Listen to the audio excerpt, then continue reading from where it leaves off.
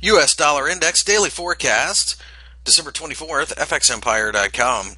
Uh, the U.S. Dollar Index, as you can see, broke higher during the session on uh, Tuesday, clearing the 90 handle. Uh, that to us signifies that we are getting ready uh, to go higher based upon the next leg higher, if you will.